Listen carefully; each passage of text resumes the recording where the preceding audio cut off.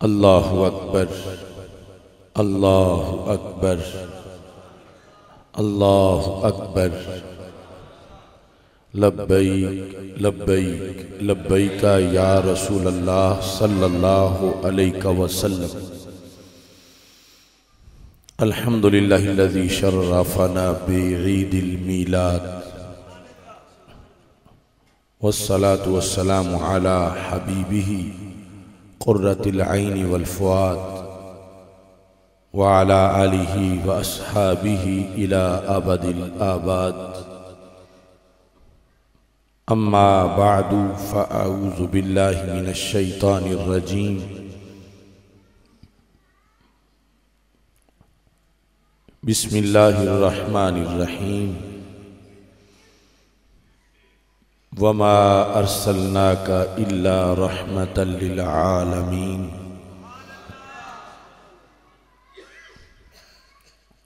صدق الله العظيم وصدق رسوله النبي الكريم الأمين مولاي صل وسلم دائما أبدا على حبيبك خير الخلق كلهم منزه عن شريك في محاسنه فجوهر الحسن فيه غير منقاسم محمد تاج رسل الله قاتبة. محمد صادق الأقوال والكلم. محمد ذكره روح لأنفسنا. محمد شكره فرد على الأمم.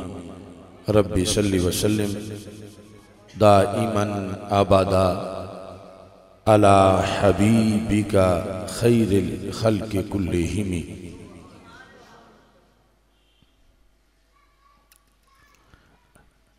میلاد کا جشن منانے سے گھر رحمت سے بھر جاتا ہے۔ مسرور ہوائیں چلتی ہیں، ایمان کا علم لہراتا ہے۔ جب یاد میں ان کی اشکوں سے آنکھوں کے کٹورے بھرتے ہیں، تب گنبد خضرہ کی جانب دل عاشق کا جھک جاتا ہے۔ وہ پیدا ہوئے تو امت کی بخشش تھی پیش نظر ان کے۔ میلاد کا جشن منانے سے پھر منکر کیوں گھبراتا ہے؟ ہر ایک کو موت کی وادی میں بالآخر داخل ہونا ہے۔ میں اس کے مقدر پہ صدقے جو طیبہ میں مر جاتا ہے۔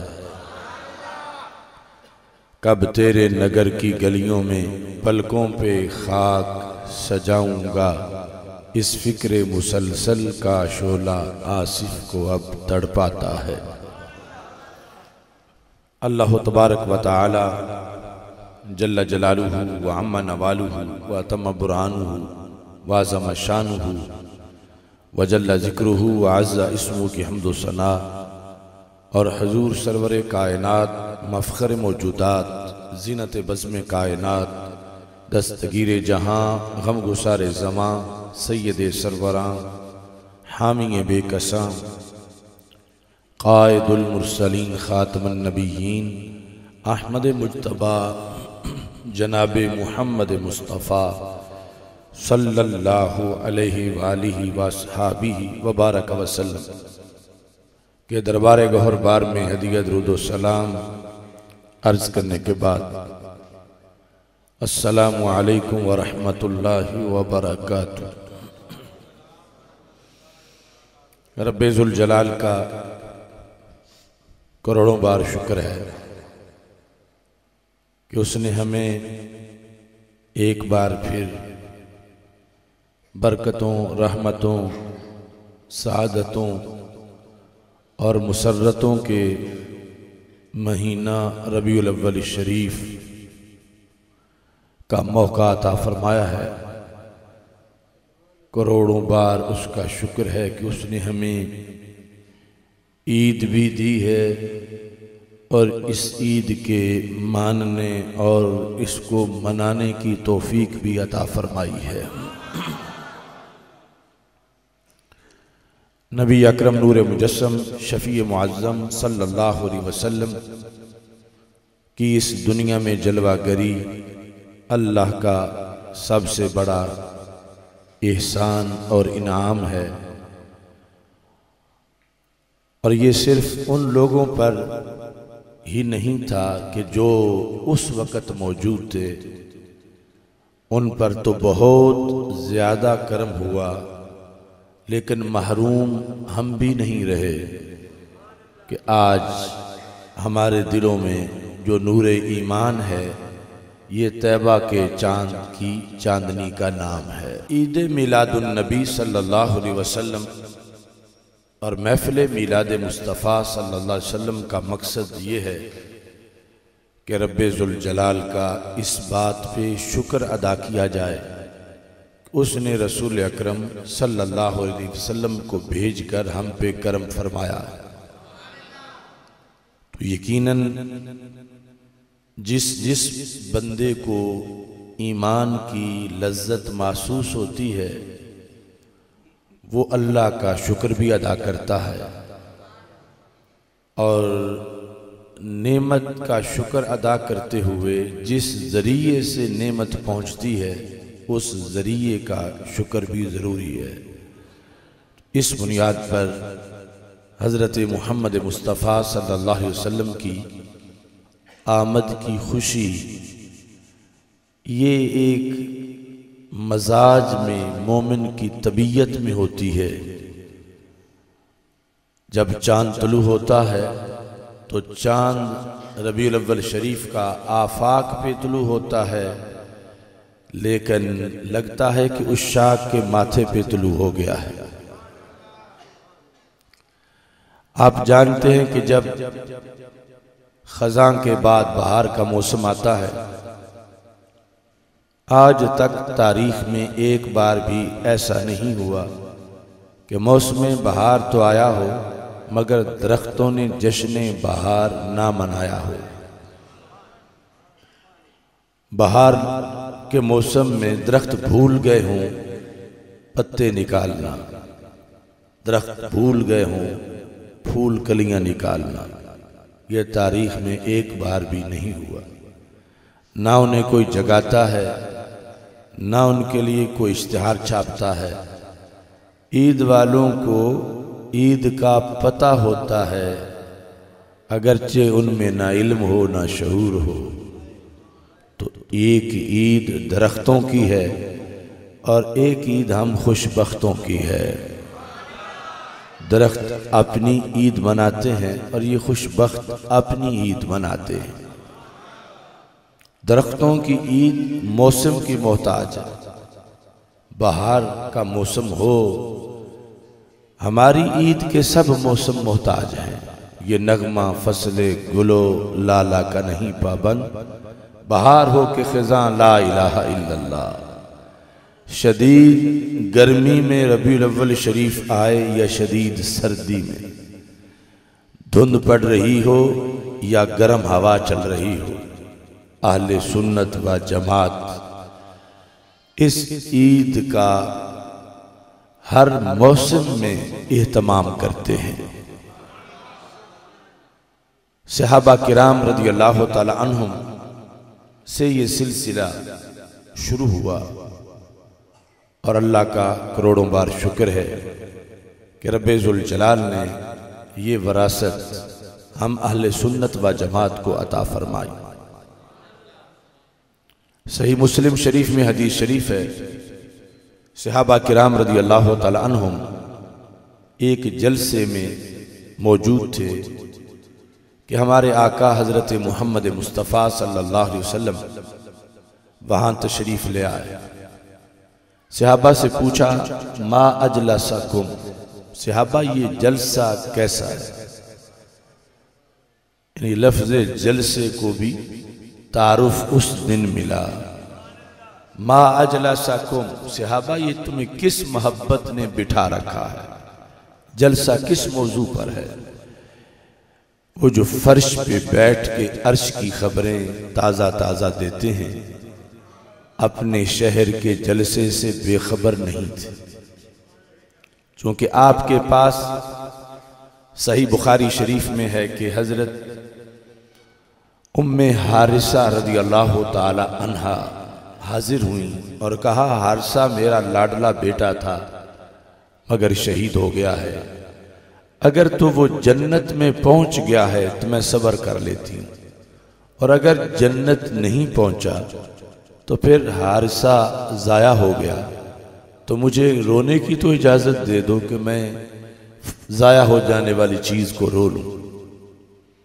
تو اب ہمارے آقا علیہ السلام نے یہ نہیں فرمایا کہ تیرا حادثہ ہم نے مٹی میں دفن کیا ہے اور یہ تو بھی جانتی ہے، یہ میں بھی جانتا ہوں۔ پھر مجھ سے تو کیا پوچھتی ہے؟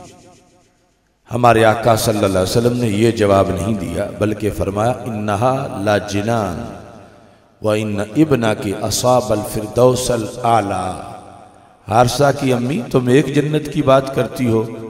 میرے رب کی کئی جنتیں ہیں، لیکن تیرا حارسہ سب سے اونچی جنت میں جا پہنچا ہے۔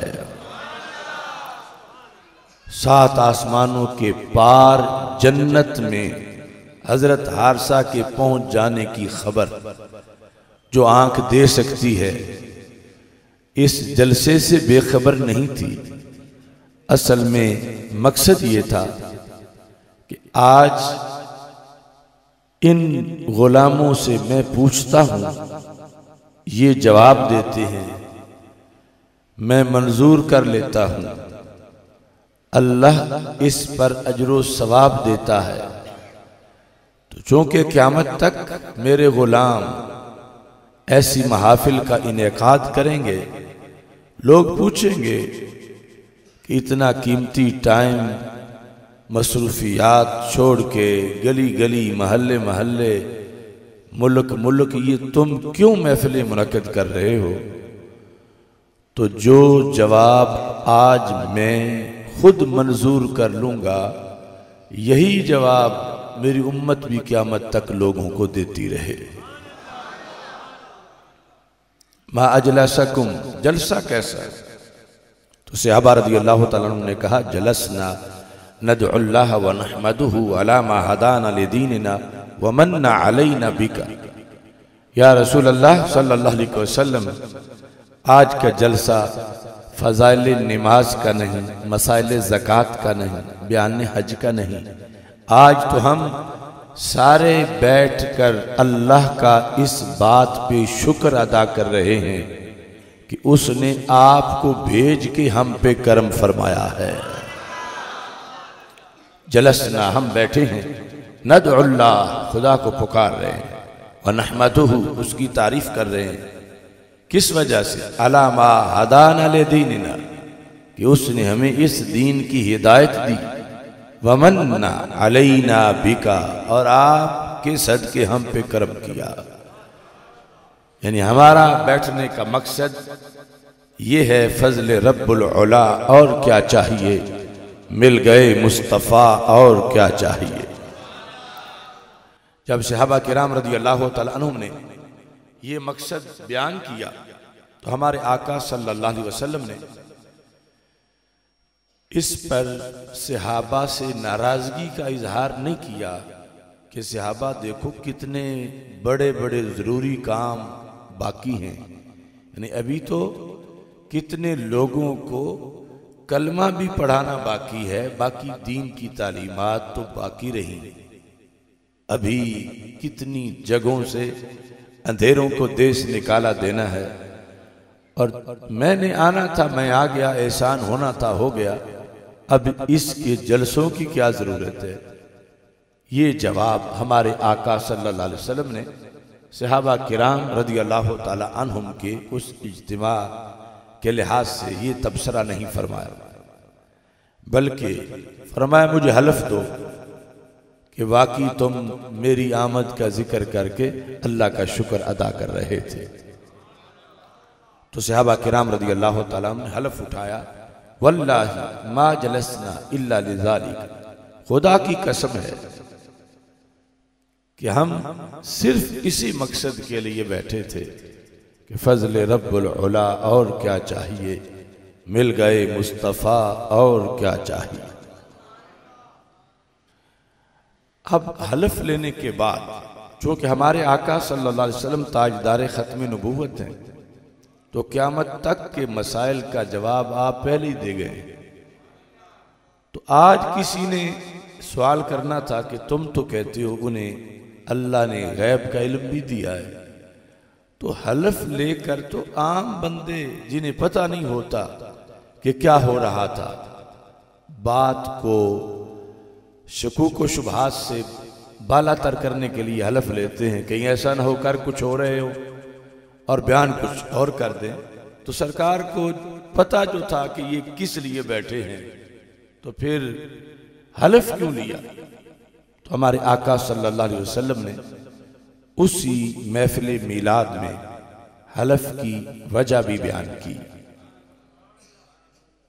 تیری نظر خارزار شب میں گلاب تحریر کر چکی تھی۔ اجاڑ نیندوں کے خواب میں انقلاب تحریر کر چکی تھی۔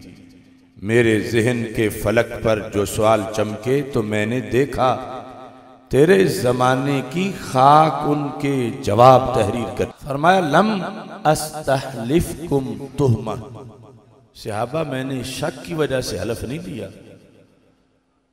کہ مجھے تمہارے بارے میں کوئی یقین نہیں تھا کہ کچھ اور بول رہے ہو۔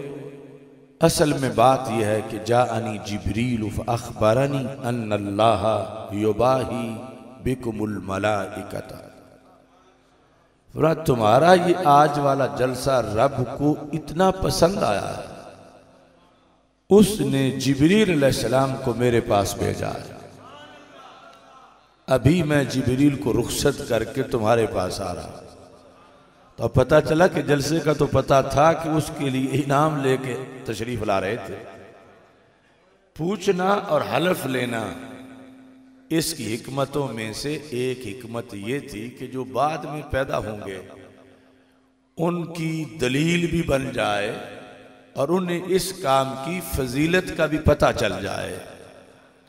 تو نبی اکرم صلی اللہ علیہ وسلم نے فرمایا، میرے پاس جبریل آئے اور وہ مجھے بتا کے گئے ہیں کہ اللہ فرما رہا ہے، اے فرش زمین پر محفل میلاد منانے والوں عرش برین کا رب تمہیں یاد کر رہا ہے۔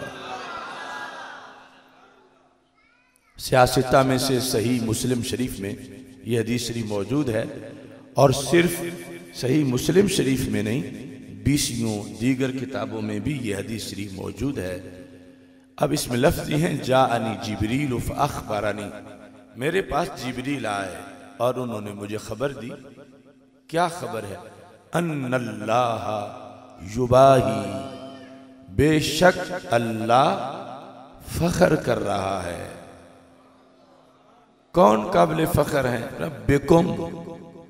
تم جو میری آمد کا ذکر کر کے اللہ کا شکر ادا کرنے والے ہو، اللہ تمہاری وجہ سے فخر کر رہا ہے۔ کس کے سامنے؟ الملائکہ، فرشتوں کے سامنے۔ یعنی رب فرشتوں کو تمہارا جلسہ دکھا کر بتا رہا تھا، فرشتوں یوں ہوتے ہیں غلامان رسول صلی اللہ علیہ وسلم۔ یہ ایسے نہیں ہے کہ قرآن بھی وصول کر لیں، ایمان بھی وصول کر لیں اور جن کے ذریعے یہ سب کچھ ملے انہیں بھول جائیں۔ تو یہ دیکھو، آج بھی ان کی وجہ سے یہ میرا شکر ادا کر رہے ہیں۔ یہ جواب جو ہمارے آقا صلی اللہ علیہ وسلم نے مقبولیت اس محفل کی بیان کی ایگزیکٹ اس ٹائم صحابہ کا عمل مبارک کیا تھا؟ کیا وہ بدر میں تھے؟ کیا وہ احد میں تھے؟ کیا وہ غزوہ حنین میں تھے؟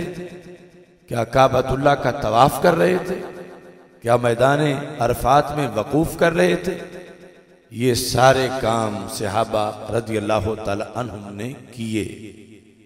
لیکن جس وقت کی حدیث میں پڑھ رہا ہوں، اس وقت صحابہ کرام رضی اللہ تعالی عنہم نہ بدر میں تھے، نہ احد میں تھے، نہ خندق میں تھے، نہ ہنین میں تھے، نہ حالت طواف میں تھے، نہ حالت وقوف میں تھے، نہ حالت جہاد میں تھے، بلکہ وہ تو محفل میلاد میں تھے۔ اور وہ اور وہ یہ بتا رہے تھے کہ بعد والوں ہم تو ہر گھڑی محفل میلاد میں ہوتے ہیں، سرکار کا چہرہ سامنے ہوتا ہے، لیکن اس کے باوجود بھی ہم بدر بھی جاتے ہیں، احد بھی جاتے ہیں ہنین میں بھی جاتے ہیں، طواف بھی کرتے ہیں، روزہ بھی رکھتے ہیں، جہاد بھی کرتے ہیں، اور کچھ وقت نکال کے محبوب کی یاد بھی کرتے ہیں۔ یہ وہی تحریک ہے کہ صدیوں کے گزر جانے کے باوجود آج بھی پوری کائنات سرکار کی آمد کو مرحبا کہہ رہی ہے۔ چونکہ ہر کسی کو حصہ ملا ہے، ہر کسی کے مقدر جاگے ہیں، ہر کسی کو اللہ کی طرف سے انعامات ملے ہیں۔ اور یہ اصل روح اس کی سرکار دو عالم صلی اللہ علیہ وسلم کی آمد کی وجہ سے اللہ کا شکر ادا کرنا اور رسول اکرم صلی اللہ علیہ وسلم کی حمد و ثنا کرنا اور درود و سلام رسول اکرم صلی اللہ علیہ وسلم کی ذات مقدس پہ پیش کرنا۔ صحابہ کرام رضی اللہ تعالی عنہم سے چلنے والی محفل موجودہ زمانے میں اس کے اندر کچھ تبدیلیاں بھی رونما ہو گئیں۔ ان تبدیلیوں کی ہم حمایت کرتے ہیں جو شریعت کے خلاف نہ ہوں اور اظہار خوشی کی ترجمانی کریں۔ حدیث شریف میں ہے، یہ جو ہم چراغاں کرتے ہیں بارہ ربی الاول شریف کو، گزرنے والا جب ہمارے گھر پہ چراغاں دیکھتا ہے، دکان پہ، مسجد پہ، تو فوراً اس کے ذہن میں یہ بات آ جاتی ہے کہ یہ چراغاں اس لیے نہیں کہ اس گھر میں کسی بچے کی ولادت ہوئی یا کسی کی شادی ہے، بلکہ یہ بارہ ربی الاول شریف کا دن ہے یا وہ موقع ہے۔ تو یہ چراغاں والا اس چراغاں کے ذریعے اپنی خوشی کا اظہار کر رہا ہے کہ میں خوش ہوں کہ میرے آقا صلی اللہ علیہ وسلم دنیا پہ تشریف لائے اور مجھے ایمان ملا۔ اب اس میں اگر ریاکاری نہ ہو اور کوئی غیر شری کام نہ ہو تو پھر اس عمل سے بھی بندے کے گناہ جھڑتے ہیں۔ یہاں تک کہ رب راضی ہو جاتا ہے۔ اللہ کا غصہ جو کام مٹا دے، یقیناً وہ بہت بڑا کام ہے۔ کچھ لوگ شاید سمجھنے کے لیے کہیں یا ویسے ان کی قسمت میں ہے، وہ کہیں گے کہ یہ یہ لائٹنگ بے جان پتھروں پہ، اینٹوں پہ۔ اس کا کیا فائدہ ہے؟ اس سے اچھا تھا کہ تم کسی کو کھانا کھلا دیتے۔ اچھا تھا تم کسی کو کپڑے لے دیتے۔ اس میں بھی اگرچہ وہ یہ نہیں کہیں گے کہ میلاد کی خوشی میں کھانا کھلا دیتے یا میلاد کی خوشی میں کپڑے لے دیتے۔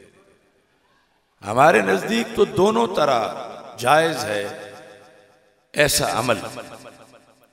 لیکن یہ جو ہے، وہ جھنڈیاں ہوں، وہ چراغاں ہو جس، جن شرائط کے ساتھ میں کہہ رہا ہوں، تو یہ بھی شریعت کے اندر ایک عمل صالح ہے۔ حدیث شریف میں ہے کہ ہمارے آقا صلی اللہ علیہ وسلم نے صدقے کی قسمیں بیان کی۔ اور صدقے کی فضیلت کیا ہے؟ غضب الرب۔ صدقہ رب کے غصے کو بجھا دیتا ہے۔ اتنا بڑا کردار ہے صدقے کا۔ اور صدقے کی اقسام میں سے ایک قسم یہ ہے کہ ہمارے آقا صلی اللہ علیہ وسلم فرماتے ہیں تبسموں کا فی وجہ اخی کا صدقہ۔ کہ جب تم کسی مسلمان سے ملو، تو ملتے وقت اگر تم تھوڑا سا مسکرا لو، تو یہ بھی صدقہ ہے۔ تمہاری مسکراہٹ بھی صدقہ ہے۔ یعنی تم کھلے ماتھے ملو، مسکراہٹ سے تو یہ بھی صدقہ ہے۔ اس عمل سے بھی رب راضی ہو جاتا ہے۔ اب میں پوچھتا ہوں کہ جب کوئی مسلمان دوسرے مسلمان کو مسکرا کے ملے، تو کیا اس سے وہ اسے کوئی چاول کی پلیٹ کھلا رہا ہے یا کوئی اسے گفٹ دے رہا ہے؟ اس کی کوئی مدد کر رہا ہے؟ جو لوگ یہ کہہ رہے تھے کہ یہ جو تم یہ کر رہے ہو، اس کی جگہ تم دوسرا کام کر لیتے۔ اب یہاں بظاہر تو کوئی اس کے ساتھ تعاون نہیں کیا گیا، نہ اسے کھانا کھلایا گیا، جس سے ملاقات کرتے ہوئے تم مسکرائے ہو، نہ اسے اور کوئی کپڑے لے کے دیے گئے۔ کیوں صدقہ بن گیا؟ نہ پیسے دیے، نہ کھانے کو دیا، نہ پہننے کو دیا۔ لیکن سرکار فرماتے ہیں صدقہ پھر بھی ہے۔ اور یہ وہ عمل ہے کہ اس سے ناراض رب راضی ہو جاتا ہے۔ اس کی وجہ صرف ایک ہے کہ جب تم مسکرا کے اپنے بھائی سے ملے تو یہ جو ہلکی سی مسکراہٹ تھی، اس نے تمہارے دل کی کیفیت کی ترجمانی کی۔ اور تمہارے بھائی کو یہ پتا چل گیا کہ میرا یہ بھائی جو مجھے مل رہا ہے، اس کے دل میں کوئی غم نہیں، کوئی بے چینی نہیں، چونکہ اس کے چہرے کی مسکراہٹ بتا رہی ہے کہ یہ خوش ہے، یہ خوشحال ہے۔ اگرچہ وہ خوشی دنیاوی وجہ سے ہو، دنیاوی جائز وجہ، مثلا کسی کے گھر اللہ کے فضل سے بیٹا پیدا ہوا تو اس کے ہونٹوں پہ مسکراہٹ ہے یا اس کا کاروبار اچھا چل رہا ہے، رزق حلال تو اس کے ہونٹوں پہ مسکراہٹ ہے۔ یہ دنیاوی سبب ہے اور ہونٹ چھوٹے سے ہیں اور مسکراہٹ ہلکی سی ہے۔ اس نے ایک خوشی کی ترجمانی کی ہے۔ رب نے اس کو صدقہ بنا دیا ہے۔ ایک طرف ہونٹوں پہ تبسم، جو کہ دل کی خوشی کی ترجمانی کرے کہ بندہ خوش ہے۔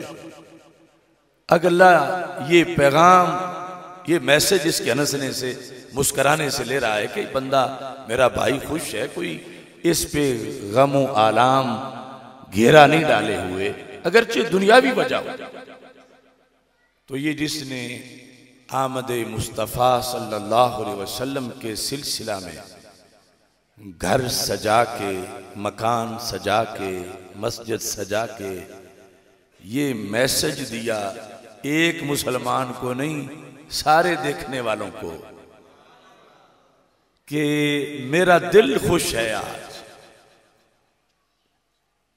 وہ چھوٹی سی تبسم کی کیفیت جو خوشی کی ترجمان بنی اور خوشی بھی دنیاوی ہے۔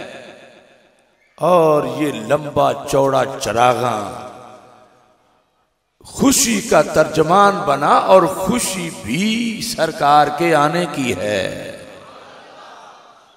وہ تبسم اگر چاول کھلائے بغیر بھی صدقہ ہے، تو یہ لائٹنگ اگر ریا سے نہیں اور یہ بتا رہی ہے کہ خوشی ہے آمنہ کے لال کے تشریف لانے کی۔ تو پھر یہ بھی ماننا چاہیے کہ صرف جائز ہی نہیں بلکہ صدقہ ہے۔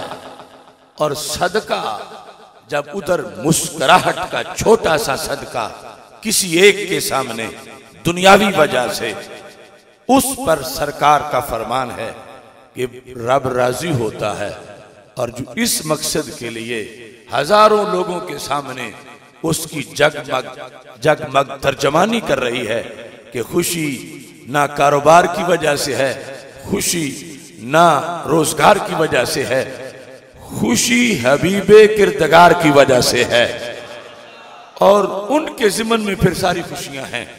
تو یقیناً یہ ایسا عمل ہوگا کہ جس سے اللہ کی رضا انسان کو ملتی ہے اور اب اس کا یہ تقاضا نہیں کہ صرف اس تک ہی محدود رہے۔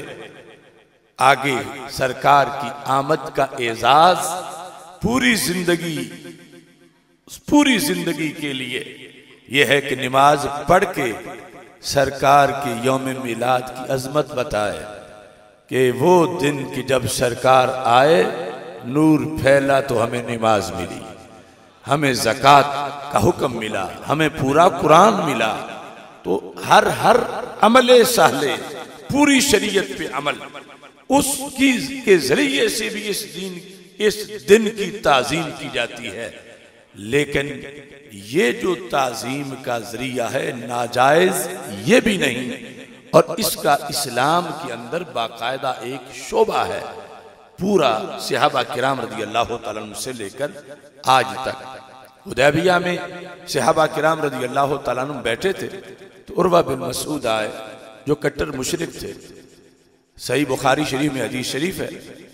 انہوں نے قریش مکہ کو جا کر جب رپورٹ دی کہ صحابہ رضی اللہ تعالیٰ عنہم اپنے رسول صلی اللہ علیہ وسلم سے کیا رویہ رکھتے ہیں؟ ایک مشرق نے سمری تیار کی۔ اور صحابہ کا جو ادب تھا، تعظیم نبی علیہ السلام تھی، اس کو دیکھتے ہی اس کے اپنے دل سے تو شرک دور ہو گیا۔ عروہ بن مسعود، انہوں نے کلمہ پڑھا، صحابی بنے، منصب شہادت پایا۔ قریش کو کیا بتایا؟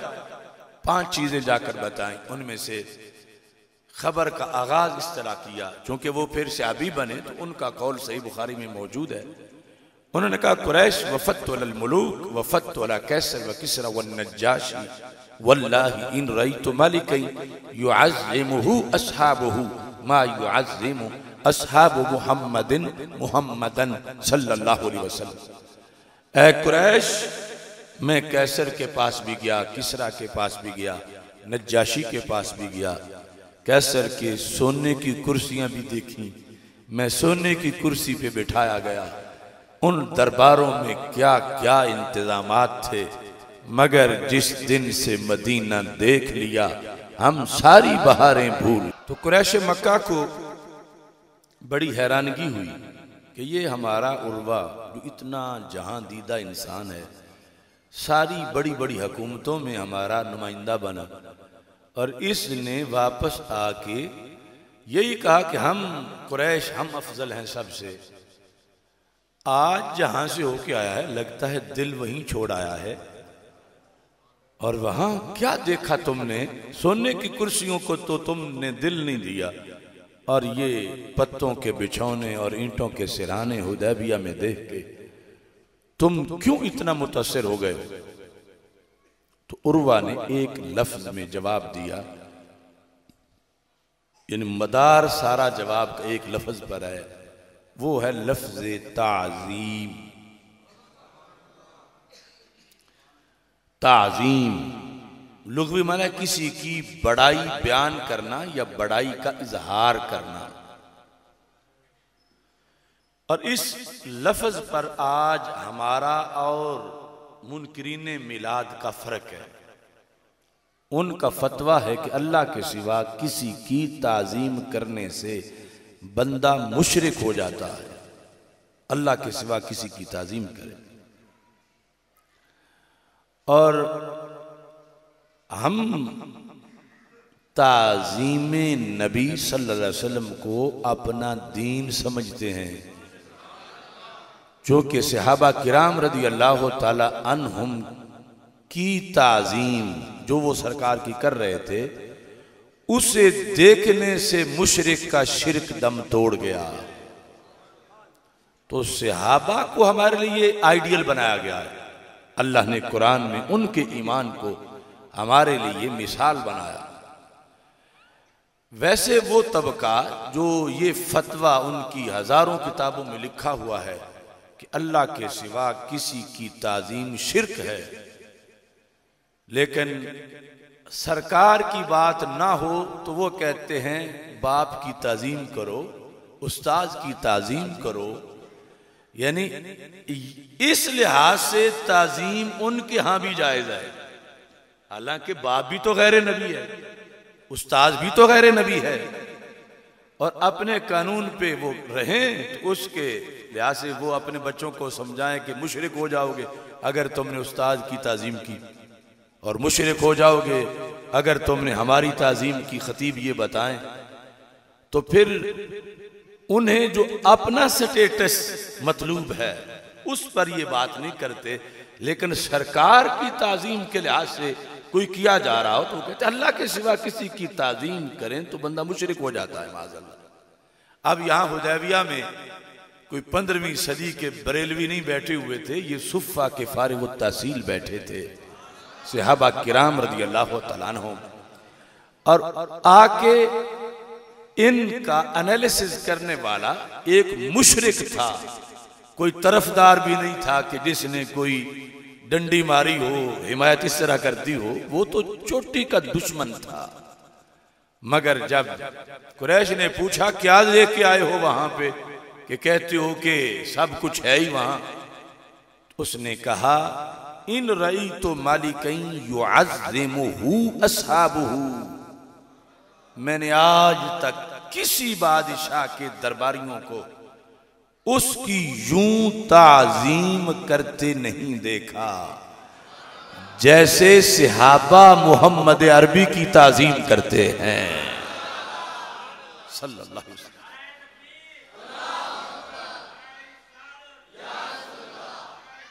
اب یہ بخاری شریف میں ہے کہ صحابہ کی ادائیں کیا تھی اب لفظ تعظیم بولا تو قریش کو پھر یہ تلاش دی کہ وہ کام بتاؤ کہ جو تم جس کو تعظیم کہہ رہے ہو، اب کام سنو۔ کام یہ ہے کہ انہوں نے کہا، ان تنخم النبی نخامتا الا وقات فی کف رجل منہم فدلک بها وجہو وجلدہو یہ صحیح بخاری۔ کہا، تعظیم یہ ہے قریش. کیسر نے تھوکا تو تھوک زمین پہ گرا. کیسر کے تھوک کے نیچے ہاتھ کرنے والا کوئی نہیں تھا. کہ جو ہاتھ پہ تھوک لے، ادب کرتے ہوئے کہ کیسر کا تھوک ہے، زمین پہ کیوں گرے؟ کسرا کا تھوک اس کے نیچے کسی نے ہاتھ نہیں کیا، مگر خدا کی قسم ہے حضرت محمد مصطفیٰ صلی اللہ علیہ وسلم کا لعاب دہن ان کے ہونٹوں سے جب بھی جدا ہوا، ان کے غلاموں نے نیچے نہیں گرنے دیا۔ یعنی یہ دیکھو، کچھ کام ایسے ہوتے ہیں کہ جس سے کفر پر ضرب زیادہ لگتی ہے۔ پانچ چیزیں انہوں نے بیان کی تھی کافروں کے سامنے جا کر۔ اور اتفاق یہ ہے کہ پانچ چیزوں میں نماز کا ذکر ہی نہیں تھا۔ حالانکہ نماز تو فرائض میں سے ہے اور کسی کو چھٹی نہیں۔ لیکن یہ ہے کہ وہ وہ چیزیں اکٹھی کر رہے تھے جن کی وجہ سے دشمنان نبی پر خطرات ثابت ہو رہے تھے۔ یعنی وہ بتانا چاہتے تھے کہ یہ جو اپنے نبی کا لعاب نیچے نہ گرنے دیں لو کیسے نیچے گرنے دیں گے؟ کیونکہ اصل میں حساب تو یہ لگایا جا رہا تھا نا کہ بادشاہوں سے بھی لڑائیاں ہوتی ہیں اور ہم ایک نبی سے لڑنے لگے ہیں۔ قریش یہ دیکھ رہے تھے۔ تو پھر جیسے بادشاہوں کے سپاہی بھاگ جاتے ہیں، رہ جاتے ہیں، تو ان کے بھی بھاگ جائیں گے۔ تو عروہ نے کہا، نہیں، یہ نہیں بھاگیں گے۔ وہ لعاب دہن نیچے نہیں گرنے دیتے۔ مقام نبوت کا یہ ادب ہے۔ اور وہ بھاگ جائیں اپنے نبی کو چھوڑ کے، یہ نہیں ہو سکتا۔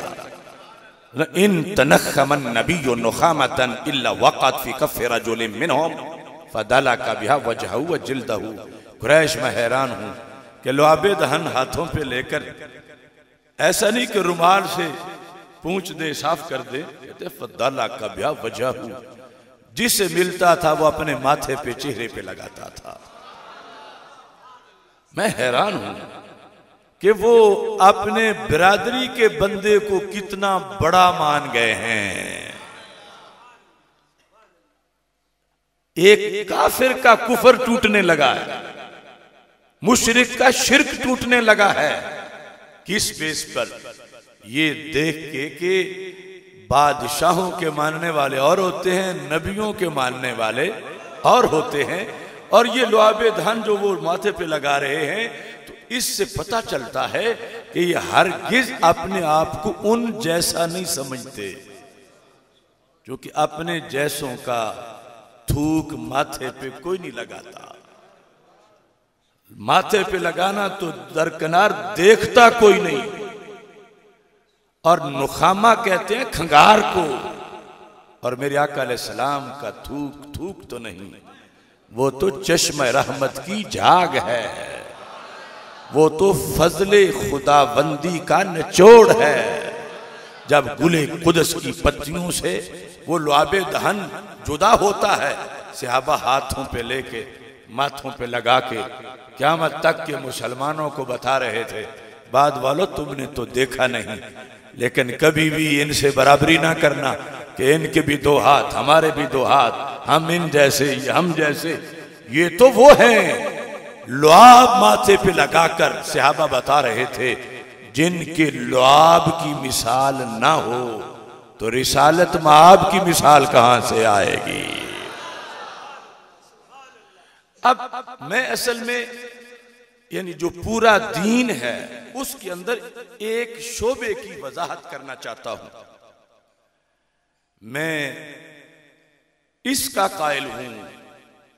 کہ اہل سنت، اور صرف میں نہیں، تمام آئمہ اہل سنت جن کے ہم غلام ہیں، وہ آخری سانس تک عمل سہلے کو ضروری سمجھتے ہیں کہ کتنا بڑا کوئی تقوی کا مقام حاصل کر لے۔ پھر بھی یہ نہیں کہا جائے گا کہ یہ پہنچی ہوئی سرکار ہیں اور منزل پہ پہنچ گئے ہیں، لہذا اب ان کو نماز کی چھٹی ہو گئی ہے۔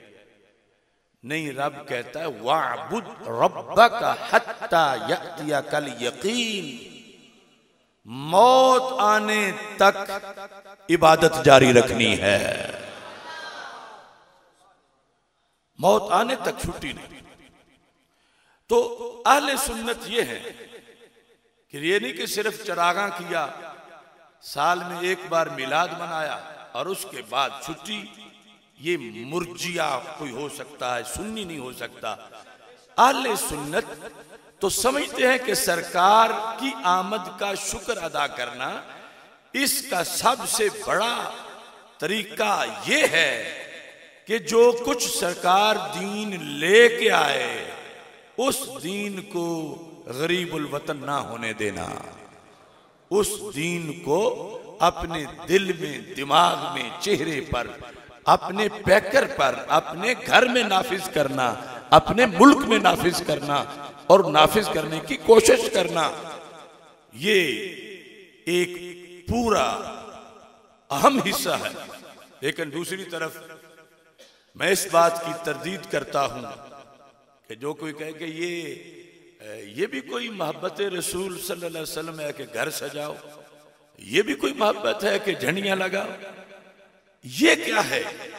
محبت تو یہ ہے کہ تم نماز پڑھو، محبت تو یہ ہے کہ تم داڑھی رکھ لو، محبت تو یہ ہے کہ تم سر پہ امامہ باندھو۔ اور یہ چیزیں جو تم نے محبت بنائی ہوئی ہے، ان کی کیا حیثیت ہے کہ بے جان دیواروں پہ تم چراغاں کر کے بیٹھے ہو؟ تو اس کی دلیل یہ شعبہ، اس کی کیا حقیقت ہے؟ میں اس کی طرف بخاری شریف سے تمہاری توجہ دلانا چاہتا ہوں۔ یعنی ہر چیز اپنے اپنے حصے میں ہے۔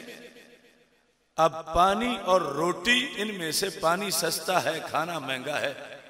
لیکن اس کا یہ مطلب تو نہیں کہ پانی کی ویلیو ہی کوئی نہیں۔ نہیں، روٹی نے اپنی جگہ پہ جانا ہے، پانی نے اپنی جگہ پہ جانا ہے۔ نماز کا اپنا تقاضا ہے، میلاد کا اپنا تقاضا ہے۔ اور ساری چیزیں ضروری ہیں۔ اب وہ جو صحابہ کرام رضی اللہ تعالی عنہ بیٹھے تھے، جن کا ایک عمل قریش کو بتایا گیا جا کر۔ پہلا یہ تھا کہ وہ لعاب دہن ماتھے پہ لگاتے ہیں۔ اب یہ وہ کام صحابہ کیوں کر رہے تھے؟ مقصد کیا تھا؟ ہم جب بخاری شریف پڑھاتے ہیں تو یہ اپنے طلباء کو بتاتے ہیں کہ صحابہ بتا رہے تھے کہ سرکار کے لعاب کی برکت کتنی ہے۔ سرکار کے لعاب کا فیض کتنا ہے۔ اس سے مشکلیں کتنی حل ہوتی ہیں۔ اور اس لعاب کے بے مثل ہونے سے پتا چلتا ہے کہ سرکار عام بشر سے کتنا اونچا مقام رکھتے ہیں۔ اب یہ مجھے تلاش تھی کہ آخر یہ منظر جب ایک مشرق نے دیکھا تو اس کا شرک دم توڑ گیا۔ تو اس حدیث کو پڑھاتے ہوئے جب وہابی دیوبندی گزرتے ہیں اس مقام سے، تو ان کی وہابیت کیسے بچ کے نکل جاتی ہے؟ کہ یہ جو لوگ ہیں بدتی بھی نہیں، جن کا عمل یہ ہے۔ اور چھپ کے کر بھی نہیں رہے سرکار کے سامنے کر رہے ہیں۔ اور سرکار سے بڑھ کے کوئی دین کا محافظ بھی نہیں۔ اور یہ لعاب دھان ماتھے پہ لگانا نہ نماز ہے، نہ روزہ ہے، نہ حج ہے، نہ زکوٰۃ ہے، نہ پڑوسیوں کی حقوق کی ادائیگی ہے، نہ تلاوت ہے، نہ تحجد ہے۔ تو یہ کیا صحابہ کوئی فضول کام کر رہے تھے؟ کیوں کیا صحابہ نے؟ تو یہ بات ان کے گھر سے بھی برامد ہوئی، محمد بن سہل اسیمین جو اہل نجد کا ایک امام ہے، جو منکرین ملاد ہے، جو اپنے ملک میں اپنے قومی دن پر تو ہر کام کر لیتے ہیں اور شریعت ان کو اجازت دے دیتی ہے کہ جلوس بھی نکالو، صدقہ بھی کرو، قیدیوں کی سزائیں معاف کرو، موبائلی کے منٹ مفت میں دو۔ چونکہ اس دن تمہیں رب نے ملک دیا تھا۔ لیکن ان کی شریعت انہیں یہ نہیں کہتی کہ ملک ملنے سے بڑا کام تو یہ ہے کہ جس دن اس کائنات کو کفر سے آزادی ملی تھی۔ بہرحال اپنا اپنا دین ہوتا ہے۔ آپ کچھ لوگ اسلام آباد بیٹھے ہوئے ہیں۔ میں حلف سے کہتا ہوں، وہ بیٹھے ہیں اس مقدس دن میں۔ انہیں آپ جتنا زور لگا لیں، آپ انہیں کہیں کہ یہ تم ایک بار کہہ دو کہ یہ ہمارا میلاد شریف کا جلسہ ہے۔ وہ مر جائیں گے، نہیں کہیں گے۔ کیوں نہیں کہیں گے؟ وہ کہیں گے کیا صحابہ اس طرح بیٹھے تھے؟ تو کر کیا رہے ہیں؟ کہتے ہم دھرنا دے رہے ہیں۔ کیوں؟ ہمیں ہمارا دین کہتا ہے، یہ جہاد ہے، یہ ثواب ہے۔ تو ہم پوچھیں کیا صحابہ نے بھی دھرنا دیا تھا؟ کیا صحابہ نے بھی یہ مطالبات اس طرح کے پیش کیے تھے اس طرح کے بندے کے سامنے؟ تو کیا تم بے دینی کر رہے ہو؟ کہتے نہیں، ہم دین کر رہے ہیں۔ یہ دین کا کام ہے۔ تو میں کہتا ہوں، کیسا دین ہے؟ جس کو دھرنا تو نظر آ گیا ہے، لیکن محبوب کی آمد کی خوشی کا جلسہ نظر نہیں آیا۔ کراچی سے اسلام آباد تک جلوس نکالنا، جھنڈے لگانا اور میڈیا کو دکھانے کے لیے پھر موبائل کی لائٹیں جلوانا اور کہے کہ جھنڈے ہلاؤ، بار بار کنٹینر سے۔ میڈیا کو دکھانے کے لیے یہ سب شریعت بن گئی۔ لیکن سرکار کی آمد کی خوشی میں چار قدم چلنا بھی ان کے دین میں گنجائش نہ پیدا ہو سکی۔ چار جھنڈوں کی گنجائش پیدا نہ ہو سکی۔ اور اس کو کہنے لگے کہ یہ شرک ہے، یہ بدت ہے۔ کیا صحابہ نے ایسا کیا تھا؟ تو اگر یہ ان کی بات شریعت کے تقاضے پر ہوتی تو پھر یہ دھرنے دھرنے، یہ سب کچھ چیزیں، یہ کسی کا بھی انہیں جواز نظر نہ آتا۔ تو پتا چلا، بات شریعت کی نہیں، گندی طبیعت کی ہے کہ جسے اپنے مفادات کو دین کہنا تو یاد آیا ہے۔ لیکن رحمت للعالمین صلی اللہ علیہ وسلم کے میلاد کو عید کہنا ان کی قسمت میں نہیں ہے۔ اور کل کی بات ہوگی کہ جب یہ لوگ اگر کامیاب ہو کے اٹھے، ویسے تو ناکامی میں بھی اٹھیں گے تو کہیں گے ہم کامیاب ہو کے اٹھے ہیں۔ اور کامیابی کی خوشی منائیں گے۔ اس کا بھی جلوس ہوگا۔ تو دھرنے کی کامیابی کی آزادی دھرنا کامیاب ہو گیا۔ تو اس کی خوشی تو جائز ہو۔ اور جس دن جہان کو جہنم سے آزادی ملی، اس خوشی کی دلیل ہی نہ ملتی ہو کہ وہ خوشی بھی جائز ہے۔ یعنی بارہ ربی الاول شریف تو انٹرنیشنل آزادی ہے اقوام عالم کے لیے، کہ وہ آئے ہیں کہ جن کا کلمہ پڑھو گے تو جہنم سے آزاد ہو جاؤ گے۔ میں وہ ذکر کر رہا ہوں کہ آخر یہ حدیث جب وہ پڑھاتے گزرتے ہیں کہ ایک ایسا کام نہ نماز، نہ روزہ، نہ حج، نہ زکوٰۃ، تو کر سے آبارے اور ڈر اس سے کفر رہا ہے۔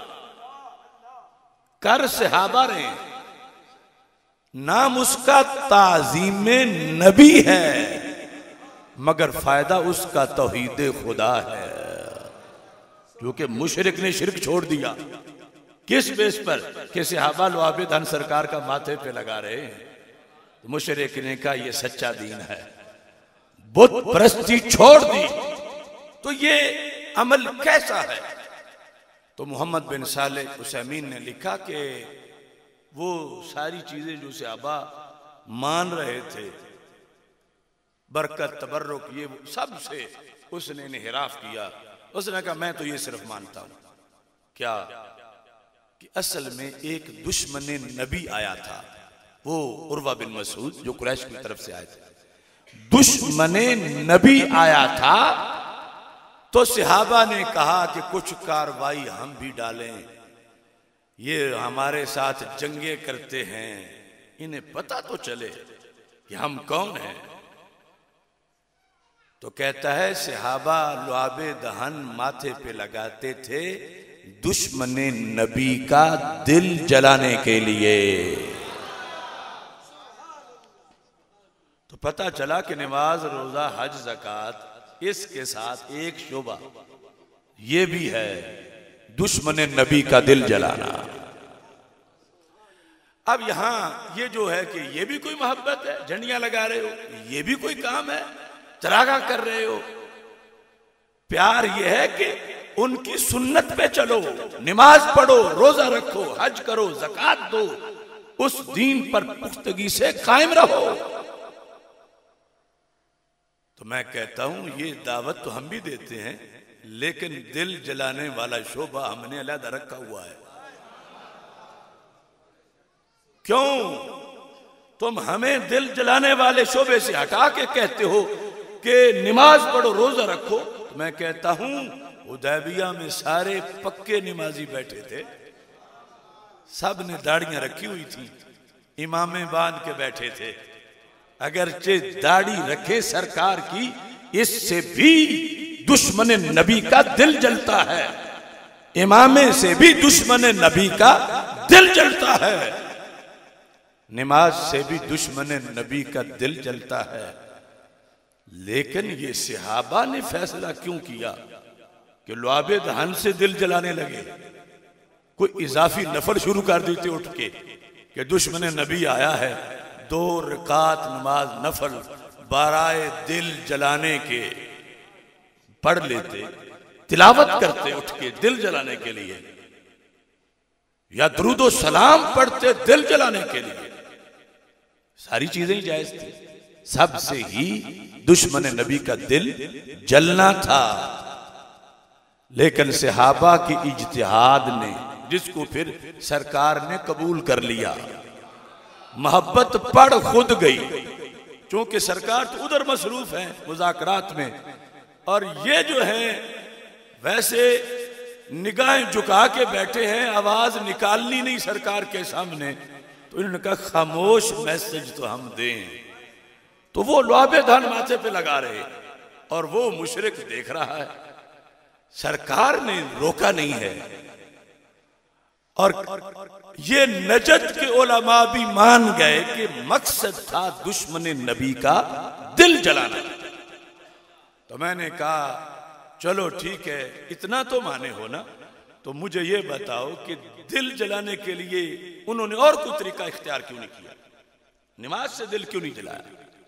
روزے سے کیوں نہیں جلایا؟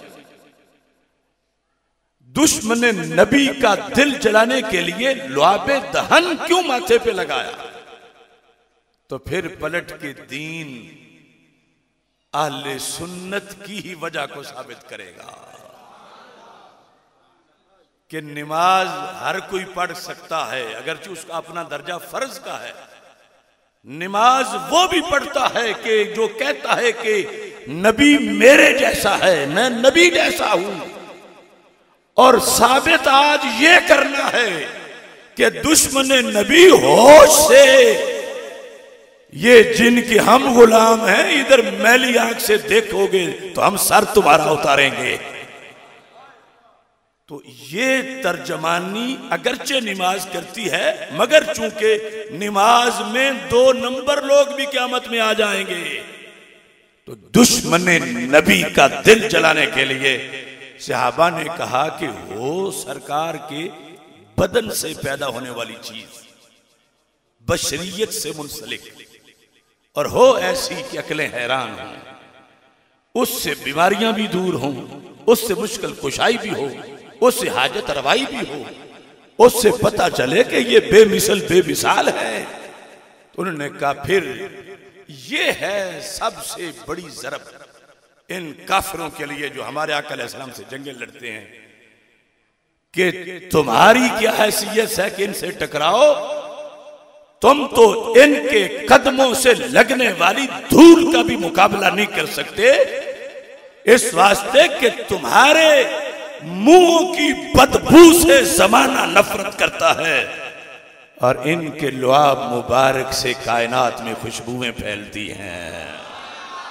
اور ہم ماننے والے انہیں اپنے جیسا نہیں مانتے، انہیں بڑا بھائی نہیں مانتے۔ ہم تو ان کو یہ مانتے ہیں۔ اب یہ دشمن نبی کا دل جلانے کا شعبہ ایک نیا شروع ہو گیا۔ جو نماز کی ویلیو کم نہیں کر رہا، نہ نماز کی نفی کر رہا۔ یہ تو صرف علیحدہ شعبے کا اس بات ہے۔ نماز کو ڈیگریڈ نہیں کر رہا، وہ فرض ہے۔ داڑھی لازم ہے۔ سرکار صلی اللہ علیہ وسلم کی سنت پہ عمل کرنا عاشق نبی علیہ السلام کا شعار ہے۔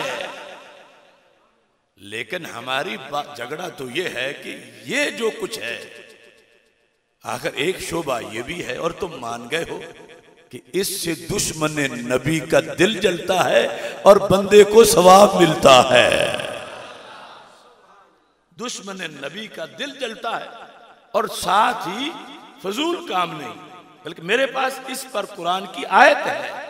اس چیز پر کہ اگر تمہارے جلوس سے، تمہارے ناروں سے، تمہارے چراغاں سے ٹرمپ ملون کا دل جل جائے مودی کا دل جل جائے تو قرآن کہتا ہے ہم نے اسے بھی عمل سہلے قرار دیا ہے۔ اب وقت نہیں چونکہ آگے پہنچنا ہے، بہت سے پروگرام ہے وہ آیت ہے، وَلَا يَتَعُونَ مَوْتِينَ يَغِيزُ الْكُفَّارِ وَلَا يَنَالُونَ مِنْ عَدُوٍ نَيْلَا إِلَّا كُتِبَ لَهُمْ بِهِ عَمَلٌ صَالِحٌ۔ نماز، روزہ، حج، زکاة سے علیحدہ عمل صالح کی لسٹ رب نے قیامت تک کے لیے جاری کی۔ نام لیے بغیر صرف شرط بیان کرنے سے کہ نام لے کر تو پھر کروڑوں پارے ناموں کے ہی بن جائیں گے۔ یہ بھی عمل صالح یہ بھی عمل صالح تو کچھ تو رب نے بیان کر دیے اور کچھ کی شرط بیان کر دی کہ تم اگر صرف کسی سڑک پہ چلتے ہوئے قدم رکھو، قدم اٹھاؤ، بازو بلند کرو، مکہ بناؤ، اور مقصد یہ ہو کہ نمائندگی ہو رہی ہے کہ آج نبی آخر الزمان صلی اللہ علیہ وسلم کے دیوانے ان کی آمد کا استقبال کر رہے ہیں۔ اور خاکے بنانے والوں کے دل جلیں کہ تم فلمیں گستاخانہ بنا کے سمجھتے ہو کہ ہم انہیں ان سے برگشتہ کر لیں گے۔ یہ حسن نبی کے بارے میں شکوک و شبہات کا مرتکب ہو جائیں گے۔ نہیں، ہم پھر بھی کہہ رہے ہیں سیدی مرشدی، یا سیدی مرشدی۔ تو اب یہ ایک علیحدہ طریقہ ہے نماز روزے والے دین کے ساتھ ساتھ۔ آیت میں ہے، کون ہے جو ہماری اس دلیل کا جواب دے؟ قیامت تک کسی کے بس میں نہیں۔ خواہ دو بند کا کوئی ہو یا نجد کا، رب کے قرآن کے مقابلے میں کون آ سکتا ہے؟ تو یہ شعبہ دشمن نبی کا دل جلانا لواب دہن لگایا صحابہ نے۔ اب ہمارے پاس دشمن نبی کو دل جلانے کے لیے لواب دہن نہیں ہے۔ باقی سارا دین ہے۔ نماز صحابہ کو پڑھنے کی توفیق تھی۔ ہم بھی پڑھتے ہیں، روزہ وہاں تھا، روزہ یہاں ہے۔ حج وہ کرتے تھے، حج ہم بھی کرتے ہیں، زکوٰۃ وہ دیتے تھے۔ زکوٰۃ ہم بھی دیتے ہیں۔ حافظ ان میں تھے، حافظ ہم میں ہیں۔ محدث ان میں تھے، محدث ہم میں ہیں۔ اور ہم چھوٹے سے یعنی ان کا ایمان ایک آفتاب جیسا، ہمارا چھوٹے سے چراغ جیسا۔ لیکن روشنی تو وہی ہے۔ تب اوپر خانے بنے ہیں صحابہ کی۔ زندگی کی سیرت کے یہ نماز، یہ روزہ، یہ حج، یہ زکوٰۃ سارے اور ایک خانہ بنا ہوا ہے کہ وہ ثواب جو دشمن نبی کا دل جلانے کا ہے۔ اب نیچے ہمارے خانے بنے ہوئے ہیں۔ نماز کی جگہ نماز، روزے کی جگہ روزہ، حج کی جگہ حج۔ تلاوت کی جگہ تلاوت، لیکن وہ دشمن نبی کے دل جلانے کی جگہ جو دل جلا کے ثواب ملتا ہے، ہم کیسے لیں؟ ہمیں ہمارے پاس تو لعاب دہنی نہیں تو کیا دین نے ہمیں اس شعبے سے محروم رکھا ہے؟ کیا یہ نیکی بعد والوں کے میرٹ میں نہیں ہے؟ یا تو ہوتا نا کہ دشمن نبی زمانے سے مر کھپ جاتے۔ تو شریعت کہتی تمہارا یہ پیپر ہی نہیں ہونا۔ بس تمہیں چھٹی ہے، کیونکہ دشمن نبی ہے ہی نہیں۔ اور دشمن نبی کمینہ، وہ دشمن نبی پاک کا دشمن کمینہ، وہ تو یہاں سے لے کر امریکہ تک پھیلے ہوئے ہیں۔ اور توہین کو فریڈم آف سپیچ کہتے ہیں۔ توہین کو فریڈم آف ایکسپریشن کہتے ہیں۔ توہین کو اپنے ملک کا قانون کہتے ہیں۔ گستاخانہ فلمیں بنا کے بھی وہ کہتے ہیں کہ پھانسی تو دور کی بات ہے، ہم گرفتار نہیں کر سکتے، کیونکہ ہمارا آئین ہے۔ یہ اوباما نے کہا تھا، the majority of Americans like me they are Christian yet we don't ban blasphemy against our most sacred belief. کہ جب گستاخانہ فلم پہ ہم احتجاج کر رہے تھے اس وقت یونائٹڈ نیشن کا نیو یارک میں اجلاس اس نے بلا لیا اور سارے مسلمان ملکوں کے صدر وزیر اعظم سامنے بٹھا کے اس نے کہا کہ یہ تم کیسا مطالبہ ہم سے کرتے ہو کہ ہم گستاخانہ فلم بنانے والے کو پھانسی پہ چڑھا ہے اس نے کہا، the answer is enshrined between our laws. ہمارا قانون پڑھو، ہمارا ملک کا قانون ہے کہ جو ایسا کرے۔ ہم اس کو تماچا نہیں مار سکتے، پھانسی کیسے دے یہ ہے بغیرتی ان کی کہ بلاس فہمی ان کے نزدیک۔ وہ کہتے ہیں فریڈم آف سپیچ بندے کو اظہار اظہار کی آزادی ہے۔ وہ جس کے خلاف بولے، نبی کے خلاف، قرآن کے خلاف، اللہ کے خلاف معذ اللہ، یہ ان کا دین ہے۔ اور اس نے یہ کہا، ہم بھی تو ایک پیغمبر کا کلمہ پڑھتے ہیں۔ ہمارے بھی عقائد ہیں۔ اس نے کہا، جب ہم اپنے نبی کے گستاخ کی گستاخی صبر سے سنتے ہیں معاذ اللہ تو ہم تمہارے نبی کے لیے یہ پابندیاں کیسے لگا؟ تو یہ اس نے بتا دیا کہ مسلمانوں، ہمارے ساتھ رہنا ہے تو پھر معاذ اللہ ہماری طرح بے غیرت بنو کہ تمہیں اپنے نبی کے خلاف کسی کی زبان سے نکلے ہوئے لفظوں پہ غصہ نہ آئے۔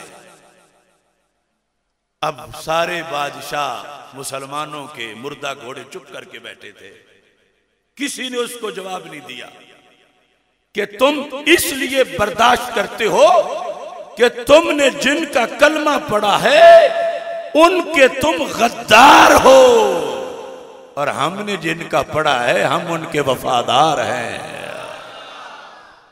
تو تمہارا معاملہ اور ہے، ہمارا معاملہ اور ہے۔ اب امریکہ کے پاس عسکری قوت، معیشت، ڈنڈا۔ اب دین اس کا یہ ہے، آئین اس کا یہ ہے کہ گستاخی کرو نبیوں کی، اس پر انعام دیے جاتے ہیں۔ خاکے بنانے والوں کی نمائشیں لگتی ہیں معاذ اللہ کہ کس نے مسلمانوں کے پیغمبر صلی اللہ علیہ وسلم کی معاذ اللہ سمہ معاذ اللہ سب سے زیادہ توہین کی ہے، اسے پہلا انعام ملے گا۔ پھر اس کا خاکہ بسوں پہ لگایا جائے گا۔ یہ سارے دھندے یورپ میں ہو رہے ہیں۔ تو دشمن نبی تو مرا نہیں۔ اور عاشق نبی بھی زندہ ہے۔ اور نصاب میں دشمن نبی کا دل جلانا یہ باقی ہے۔ اور ادھر لعاب دہن نہیں۔ تو یہ شعبہ ہم کیسے؟ اس شعبے کے لیے کیا کریں؟ اس شعبے کے لیے کیا کریں؟ تو ہمارا دین جو ہے، اس میں یہ صلاحیت ہے کہ اس کے اصولوں سے قیامت تک کے مسائل حل کیے جا سکتے ہیں۔ تو اگر لعاب دہن نہ بھی ہو، علت کیا ہے لعاب دہن ماتھے پہ لگانے کی؟ علت یہ ہے، جسے نجد والے مانے، کہ دشمن نبی کا دل جلے۔ تو ہم نے کہا پھر دل جلنا چاہیے کسی کام سے بھی ہو۔ بشرتے کہ وہ کام شریعت سے ٹکراتا نہ ہو۔ تو لعاب دہن نہیں، تو پھر کوئی متبادل طریقہ کہ جس سے دشمن نبی کا سالانہ دل جلے۔ تو چراغاں کیا تو ہائے ہائے کرنے لگا دشمن نبی۔ میلاد کی رتائی تم نے جلوس نکالا۔ پوچھو دشمن نبی سے، یہود سے، نصارہ سے کہ دل ان کا جلا ہے یا نہیں۔ ہر سال پورے ربیع الاول کی پوری دنیا سے ریکارڈنگ کٹی کر کے وہ شیطان وائٹ ہاؤس میں دیکھتے ہیں۔ یہ یمن کا، عید میلاد، یہ پاکستان کا، یہ عراق کا، یہ فلاں جگہ کا، فلاں جگہ کا۔ یہ شہروں میں، یہ دیہاتوں میں، یہ رات کے وقت، یہ دن کے وقت، یہ مسجدوں میں، یہ حالوں میں، یہ گلیوں میں، یہ چوکوں میں تو شیطانوں کی امیدوں پہ پانی پھر جاتا ہے کہ ہم نے تو کہا تھا کہ کچھ تو پیچھے ہٹیں گے، لیکن یہ تو پہلے سے بھی زیادہ دھوم مچی ہوئی ہے۔ لہذا منکر میلاد کم از کم یہی سوچ لے کہ جس زمانے میں اعلانیہ توہین کو قانون بنایا گیا ہو کفر کی طرف سے۔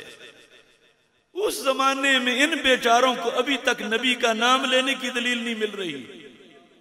ادھر سرکار کے گستاخانہ خاکے ٹریفک میں بسوں پر لگائے گئے کہ ان کا معذلہ حافظہ ٹھیک نہیں، ان کے اندر صبر نہیں، مختلف چیزیں دماغ میں بنا کر خاکم بدہن، یہ شور مچایا گیا عرب دنیا، اس میں، یورپ میں، یورپی یونین میں، انعام دیے گئے۔ اور ادھر نام نہاد امتی یہ سوچنے پہ بیٹھا ہے کہ کیا ان کی خوشی میں چراغاں کروں یا نہ کروں؟ جھنڈی لگاؤں یا نہ لگاؤں؟ اب تو اس توہین کے مقابلے میں اگر کوئی قرآن و سنت کا عالم نہ بھی ہو اس کی صرف عقل سلیم ہو۔ تو اسے سمجھ آ جانی چاہیے کہ یہ صرف جائز ہی نہیں رہا، یہ باطل کا دل جلانے کے لیے لازم ہو چکا ہے۔ یعنی ایک عمومی چیز، اس کا تو انہیں پتا ہے نا کہ یہ ان کے نبی علیہ السلام کی آمد کا مہینہ۔ ہے یہ انہیں پتا ہے۔ یہ جو کچھ ہو رہا ہے سبب، وہ خوشی ہے۔ جلوس جتنے ہیں، محفلیں جتنی ہیں چراغا جتنا ہے بینر ہیں، جھنڈیاں ہیں، لنگر ہیں، یہ سب کچھ نمائندگی کس کی ہے کہ خوشی ہے آمنہ کے لال کے تشریف لانے کی؟ اب یہ سارا جہان جس وقت جھومتا ہے تو ان کے تو دل کے پرخچے اٹھتے ہیں کہ مسلمان اتنا پیار کرتے ہیں، اتنا پیار کرتے ہیں۔ اب یہ تو ان کے مزاج پر ہے نا؟ کہ نماز سے دل اتنا ان کا نہیں دکھتا جتنا میلاد سے دکھتا ہے۔ یہ درجہ بندی تو ہمارے ہاں ہے نا کہ نماز فرض ہے اور محفل میلاد مستحب ہے۔ لیکن اگر آگے اثر کرنے کے لحاظ سے ان پر جو بم گرتا ہے، وہ اگرچہ نماز سے بھی جلتے ہیں لیکن سرکار کی آمد کے اس چراغاں سے، اس اہتمام سے کہیں زیادہ ان کو بے چینی ہوتی ہے۔ تو ہم تو اس مقصد کے لیے کرتے ہیں کہ دشمن نبی کا دل جلایا جائے۔ اور اگر ہم ٹرمپ کا جلانے نکلے تھے، گیرٹ ویلڈر ملون کا جلانے نکلے تھے، ٹیری جونز کا جلانے نکلے تھے اور ساتھ کسی محلے دار کے دل سے بھی دھواں نکلنا شروع ہو جائے۔ اس کا بھی جل جائے۔ اب یہ ہمارا تو قصور نہیں۔ ہم نکلے ہیں دشمن نبی کا دل جلانے کے لیے۔ اور جہاں ہمارے میلاد منانے سے گولے جا کے گر رہے ہیں، اس نے وہاں اپنا دل کیوں رکھا ہوا ہے؟ یہ اپنے دل کو سمجھائے؟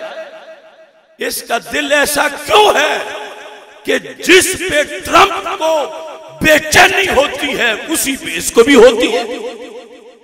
جس بات سے موتی کے بچے مرتے ہیں، اس پر اس کی بھی مر جاتے ہیں۔ یہ اپنا کوئی علاج کرائے، کوئی چیک اپ کرائے کہ اس کے دین میں کیا چیز ہے، تاکہ آج لے ان کی پناہ، آج مدد مانگ ان سے۔ کل نہ مانیں گے۔ قیامت کو اگر مان گیا۔